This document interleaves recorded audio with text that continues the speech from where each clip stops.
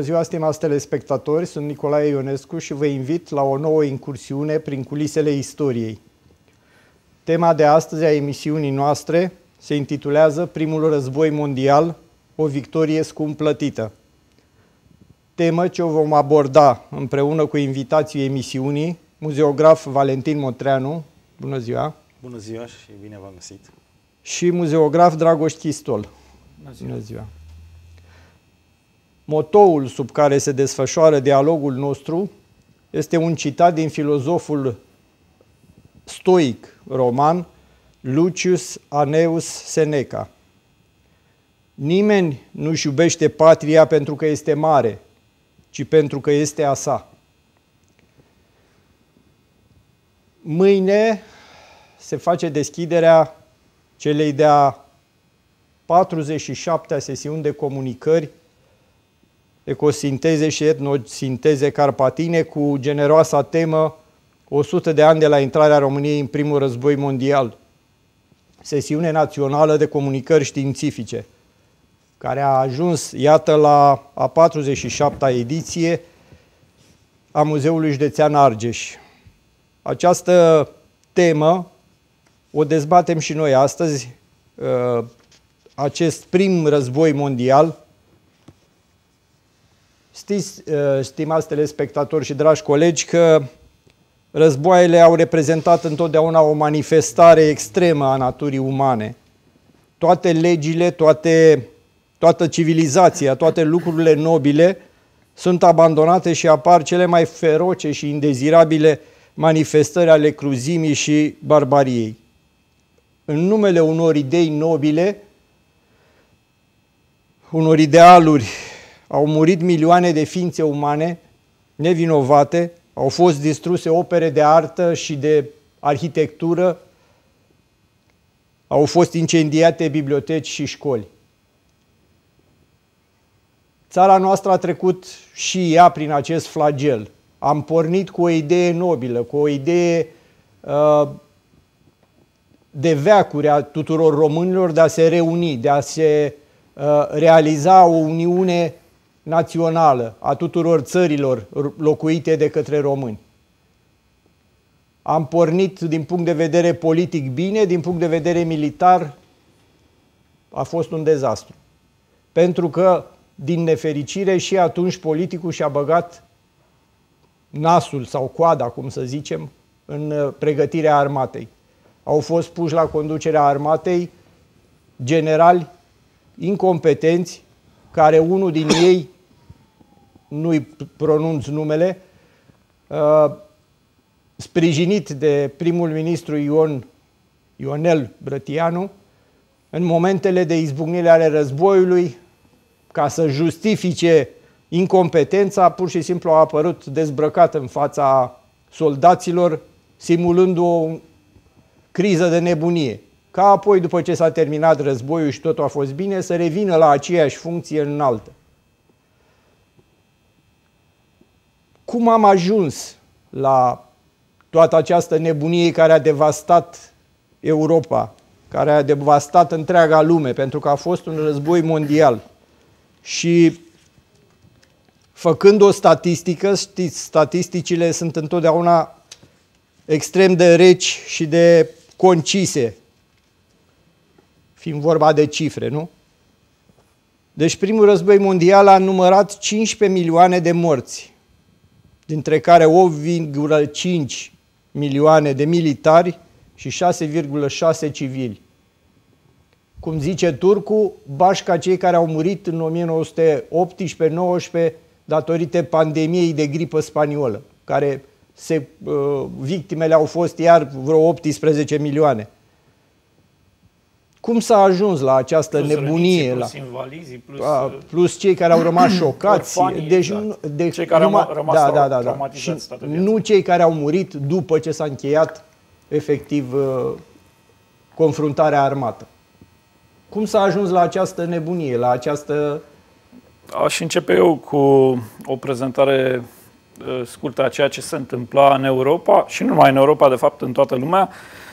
Și să ne întoarcem puțin în timp în secolul XIX, în secolul XIX după jumătatea acestui veac, și să ne uităm puțin la uh, un actor, un nou actor uh, politic și militar puternic în Europa și mă refer aici la Germania.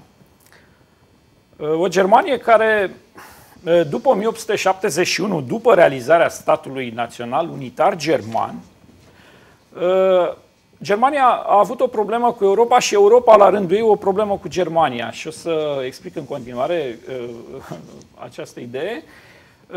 Germania după 1871, de ce 1871? Știm, în 1870-71 a avut loc un război franco-german, Germania este învingătoare, Franța este umilită, pierde Alsacia și Lorena, însă Germania din acel moment devine un actor militar Uh, foarte puternic în Europa. Putem spune că în Europa continentală era cel mai uh, puternic actor militar, da? Uh, și de asemenea și un actor economic foarte important.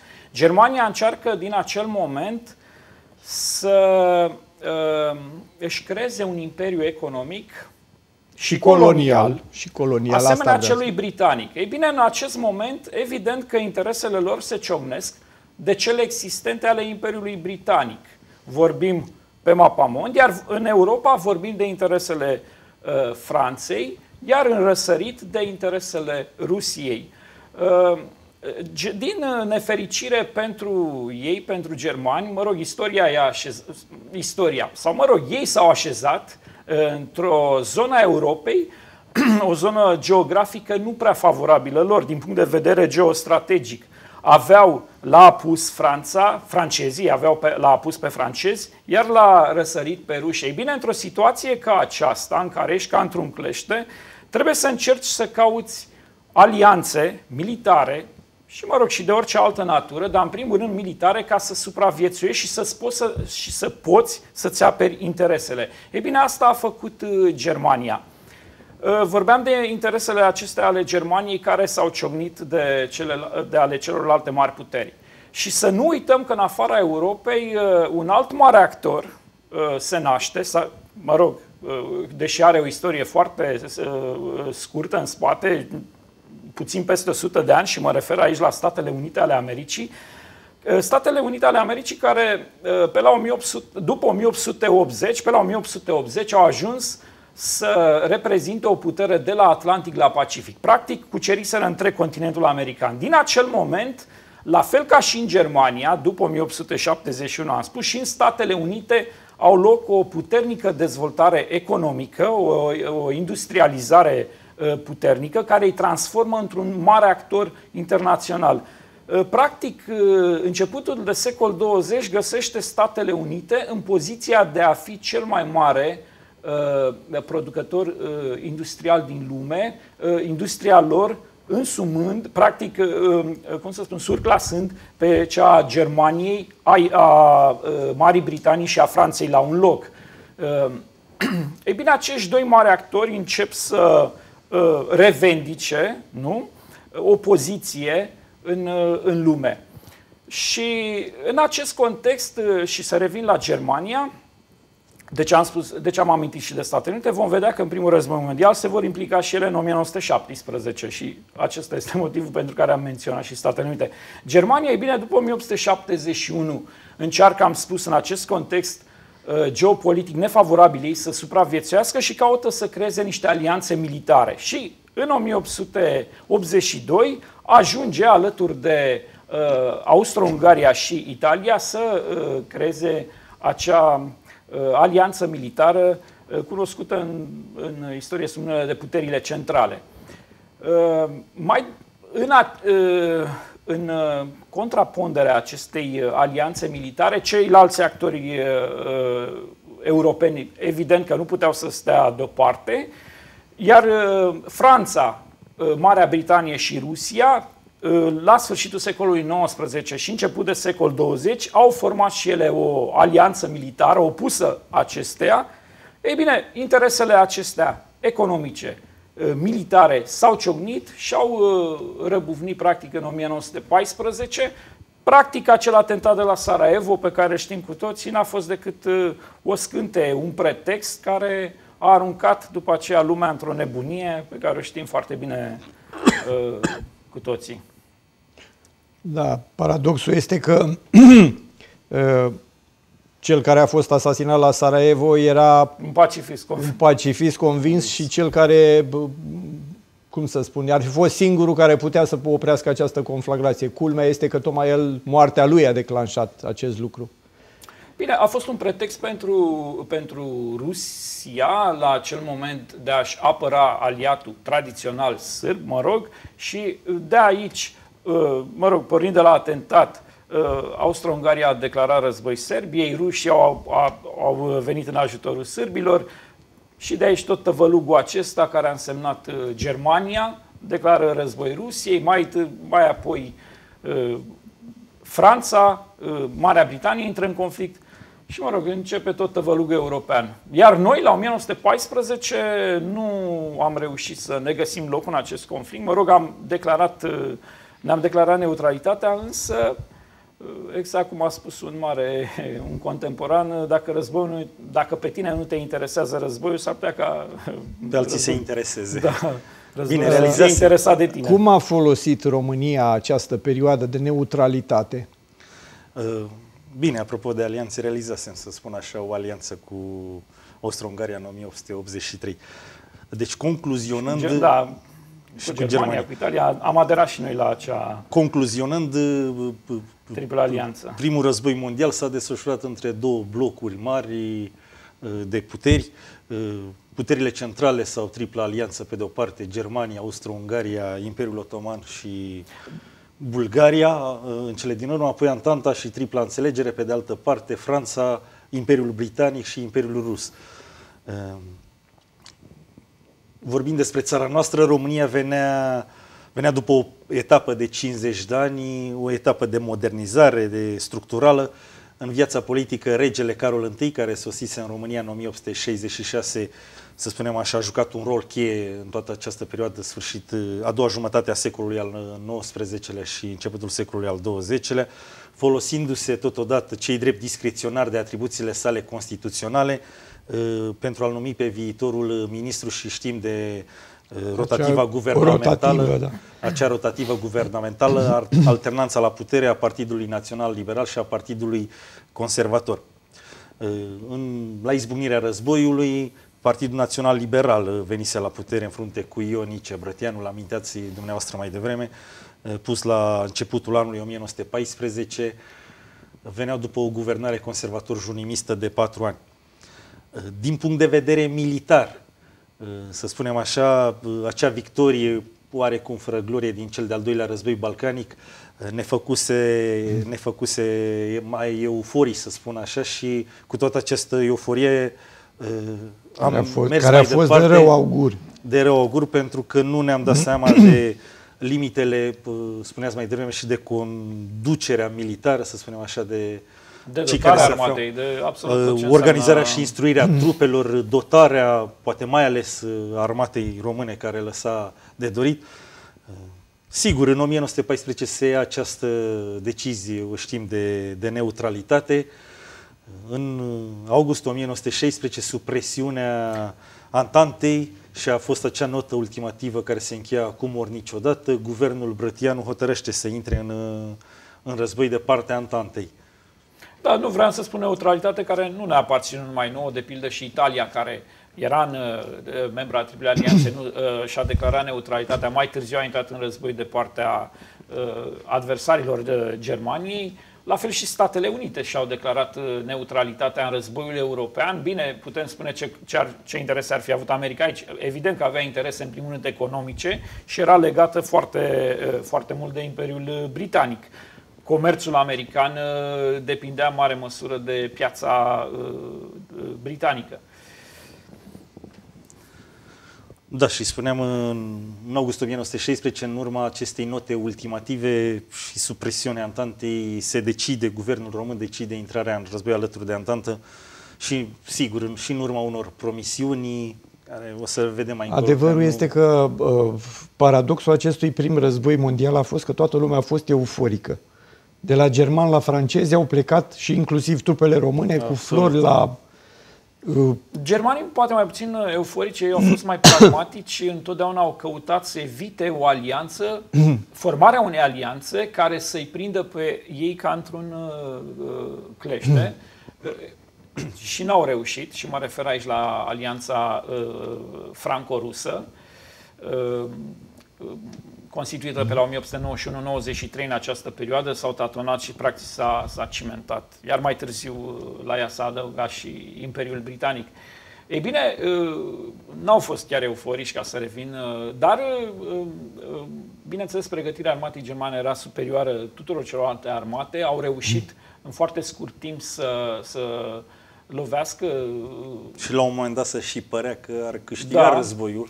Însă balanța au, au fost evenimente ulterioare care au înclinat balanța de partea Antantei. Și un moment, două momente, de fapt, foarte importante în acest prim război mondial, uh, intrarea Statelor Unite în război, că vorbeam mai devreme, Statele Unite n-au putut sta deoparte, mai ales că la sfârșitul războiului an, au anticipat că la sfârșitul războiului, dacă vor uh, fi la masa învingătorilor, vor avea și un cuvânt de spus și uh, au intuit foarte bine pentru că după primul război mondial, practic Imperiul Britanic nu mai este stăpân, practic din acel moment Statele Unite preiau frâiele politicii economice militare mondiale.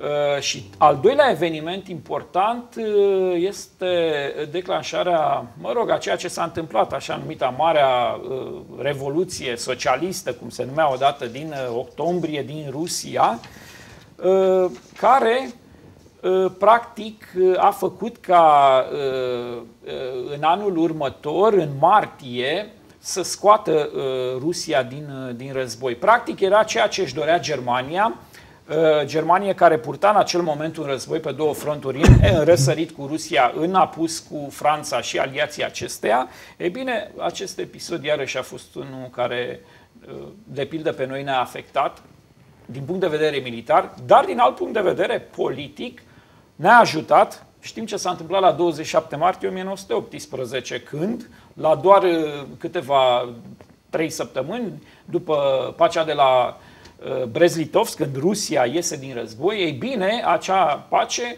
a dat posibilitatea românilor și numai românilor și finlandezilor și uh, celor din statele baltice să se manifeste independent. Iar românii din Basarabia s-au unit cu da. Sigur, noi intrasem în război într-o perioadă, oare cum să-i spun așa, mai nefastă și de dovadă că la început, după, să spunem așa, niște victorii mai mult tactice în Transilvania, armata română uh, suferă niște înfrângeri zdrobitoare, mă refer la toamna anului 1916. Când și capitala și poate, e ocupată? Și da. capitala, chiar două treimi din teritoriul național este ocupată. Practic România autor... este redusă la ceea ce este Moldova. Dar la Moldova autoritățile se duc cu toții la Iași. Uh, sigur, sfârșitul anului 1916 și 1917, să spun așa că uh, se formează un nou leadership uh, militar de conducere și aici mă refer la generalii Prezan, Chirițescu, Grigorescu, Văitoianu, Uh, și cu sprijinul substanțial al misiunii militare franceze conduse de generalul Henri Berthaud, iată, ne modernizăm uh, armata Primim și... și armament modern. Inclusiv și armament modern și iată că uh, dacă am suferit înfrângerile din anul 1916, putem vorbi și de hmm. niște izbânzi din vara anului 1917. Urmează cele trei victorii, cele trei momente victorii, foarte... momente de glorie la armatei noastre care reușește să stopeze atacurile invincibile armate germane și uh, chiar uh, să plece la contraofensivă. Au fost cele și, trei și momente. Și pe un front destul de lung, de aproximativ 35 de kilometri. În care defecțiunile ruse s-au văzut din plin. Da, culminând cu... Târziu, exact. Da, este vorba de Mărăști, Mărășești și Oituz. Cam aici a fost linia de aproximativ 35 de kilometri, unde, într-adevăr, uh, a fost folosită o serie întreagă de armate și din partea României și a Germaniei și a Rusiei. Chiar uh, aveam aici la un moment dat ce forțe au fost, pentru că la vremea respectivă, în acea vară, pe frontul de est a fost cea mai puternică bătălie. într-un anume fel putem să spunem că uh, România și-a îndeplinit sarcina trasată de aliați. Sarcina era să, da. să reducă presiunea din, din partea uh, vestică a armatelor și să atragă cât mai, mulți, cât mai multe trupe austriece și germane aici, pe frontul nostru. ne-am făcut din plin datoria, dar am plătit cumplit. Au fost victime enorme. Numai în, în bătălia de la Mărășești au pierit 26.800 de, de soldați români, ofițeri morți, răniți și dispăruți. Deci o bătălie o, care a făcut puterile centrale enormă. să-și revizuiască strategia. Cel puțin atunci când asta frontul s-a mutat, apoi la un moment dat s-a a fost proiectat la o pentru multă apoi... vreme, pentru că s-a întâmplat ce s-a întâmplat în toamna anului 1917 în Rusia. Bineînțeles, cu ajutorul, între ghilimele, al Germaniei, Așa. care a pus la dispoziție un tren blindat lui Lenin și l-a exact, teleportat la... la Moscova ca să-și îndeplinească da. rolul de a face o revoluție. E, dar exact. după tratatul de la Brest-Litovsk uh, urmează pacea de la București, o pace umilitoare.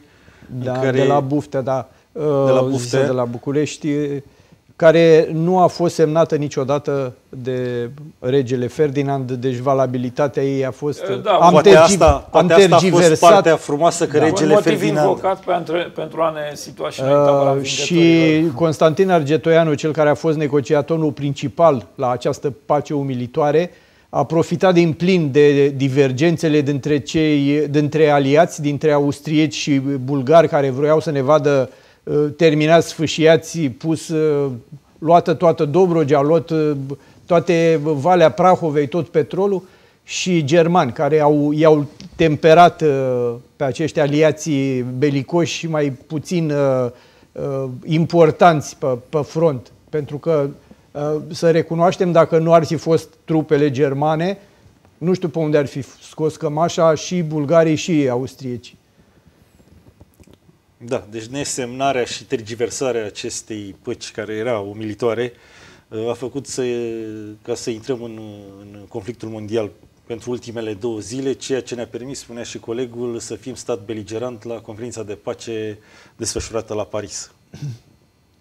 Apoi a urmat episodul cu atacul Ungariei, cu sovietele ungare conduse de Bela Kun, care da, exportul uh, Revoluției Ruse începuse deja și, da. uh, și pericolul mare, iar revin la Germania, era ca și Germania să fie sovietizată. Să nu uităm că a fost acea revoltă episod, da. în, în portul Kiel a, a, sol, a marinarilor care deși trupele pe, pe front, infanteria și erau uh, în plină retragere, s-a încercat o ultimă ofensivă a, uh, navală a Germaniei și aceștia s-au răsculat pur și simplu dându-și seama de, de inutilitatea gestului, că era un gest sinuțigaș.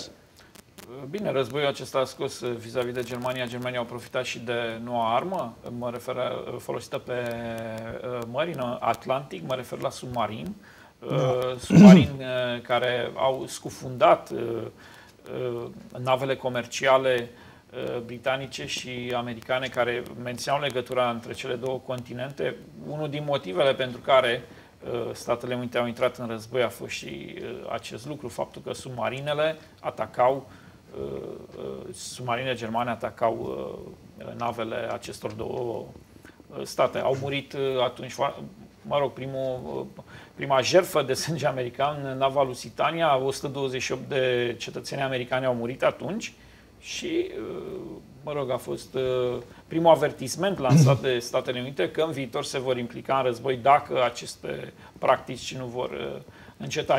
Și iarăși un moment interesant în acest prim război mondial a fost și faptul că Germania a încercat pe continentul american atragerea Mexicului de partea ei, Uh, o telegramă trimisă uh, și interceptată de serviciile uh, speciale britanice în care Germania făcea o ofertă interesantă Mexicului să, să declanșeze un război împotriva Statelor Unite pentru a recuceri, mă rog, așa, în viziunea germană, mexicanii ar fi recucerit niște teritorii care aparțineau de drept Mexicului din Statele Unite, mă refer la Arizona, Texas, acea, acele state din, din sud, Ehm, și un uh, ajutor consistent din punct de vedere financiar, însă Mexicul și-a dat seama că nu pot, uh, din punct de vedere, de vedere militar, uh, să, să, să pună, susțină, să acest susțină un război împotriva Statelor Unite și atunci oferta a fost declinată. Însă a fost un